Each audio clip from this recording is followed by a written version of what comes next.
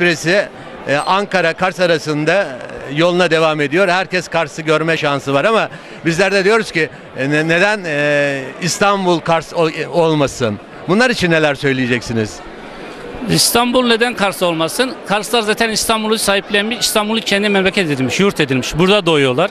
Karslar hem doğduğu hem de doğduğu yere önem verir, saygı duyar, hizmet etmeyi sever. Zaten Karslar İstanbul'un öz evladı gibidir.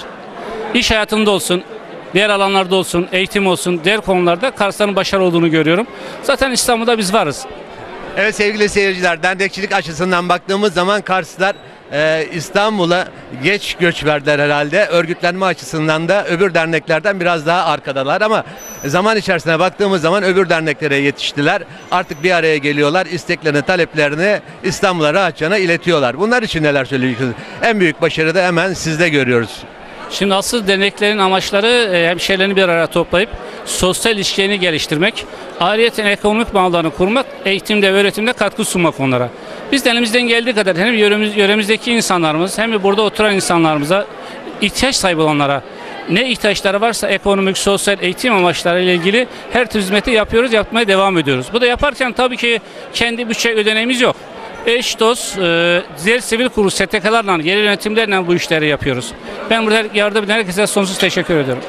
Evet sevgili seyirciler, e, Sayın Orhan Çerkez Ataşehir Belediye Başkan Yardımcısınız efendim. İyi bir yerdesiniz. Eşiniz dostunuz çok. E, bunlar için neler söyleyeceksiniz? Karslara baktığımız zaman İstanbul'da belediye başkanı çıkartamıyorlar. E, ama her dernekte belediye başkanı İstanbul'daki bir ilçenin belediye başkanı çıkarması için uğraşıyorlar. Herhalde Karslar da zaman içerisinde bu amaçlarına ulaşırlar.